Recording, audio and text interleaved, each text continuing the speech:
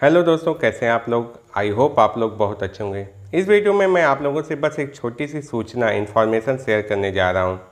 दोस्तों जितने भी गवर्नमेंट एम्प्लाई होते हैं, उनका एनपीएस अकाउंट एनएसडीएल के पास ओपन होता है। एनएसडीएल क्या है? ये हमारी सेंट्रल रिकॉर्ड कीपिंग एजेंसी है। जैसे हमारा बैंक में अकाउंट ओपन होता है, वैसे एनएचडीएल के पास हमारा अकाउंट ओपन होता है। और ख़ास बात, हमारे अकाउंट के रख रखाव का जो जिम्मा होता है, वो एन के पास होता है। प्राइवेट ऑर्गेनाइज जो संस्थाओं में काम करते हैं या कोई खुद जाए किसी पीओपी के माध्यम से ओपन करवाए या आप डायरेक्ट वेबसाइट से करते हैं तो आपके पास ऑप्शन होता है कि आप कैम्प्स या के फिनटेक। कैम्प्स अभी नहीं रजिस्टर्ड हुए, के फिनटेक संस्था उस, उसमें वहाँ पर भी आप ओपन करवा सकते हैं। ये सारी सी के रूप में पंजीकृत हैं। एन भी है। हम एन से क्यों परिचित हैं? एन से हमें हमारा एनुअल स्टेटमेंट मंथली स्टेटमेंट प्राप्त होता रहता है, जो भी हमारे एनपीएस अकाउंट में ट्रांजेक्शन होते रहते हैं। जो करेंट पोर्टफोलियो हमारा करेंट में जो वैल्यू होती है, वो सारी चीज़ें हमें मिलती रहती हैं। अब आपको ध्यान क्या रखना है?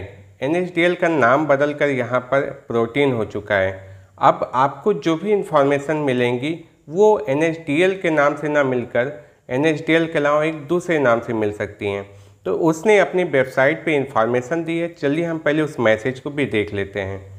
तो यहाँ पर इन्होंने कहा है N S D L E governance infrastructure limited is now Protean E Gov technologies limited N P S related S M S notification alerts will have S M S sender I D H P T N N P S and N P S C R A तो आपको जो भी यहाँ से अब message मिलेंगे सिर्फ़ पहले एन पी एस सी मिलते थे, अब वो हमें मिलेंगे T P T N N P S और साथ साथ एन पी एस से। तो हमें दोनों अगर कोई भी ऐसे एस एम एस या ईमेल मिल रहे हैं तो हम समझ सकते हैं कि वो हमारे सी आर ए के माध्यम से मिल रहे हैं।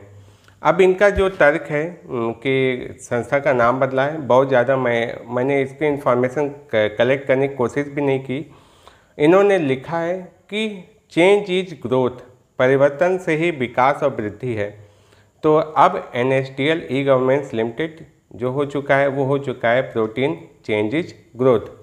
तो कोई बात नहीं दोस्तों, हमें तो बस अपडेट रहना है, ऐसी इन्फॉर्मेशन नॉलेज के साथ। इसलिए चैनल को सब्सक्राइब ज़रूर कर लीजिएगा। आपका दोस्त कुआ जैन सिंह फिर मिलेंगे नेक्स्ट वीडियो में ऐसी इन्फॉर्मेशन नॉलेज और अपडेट के साथ। तब तक के लिए जय हिंद।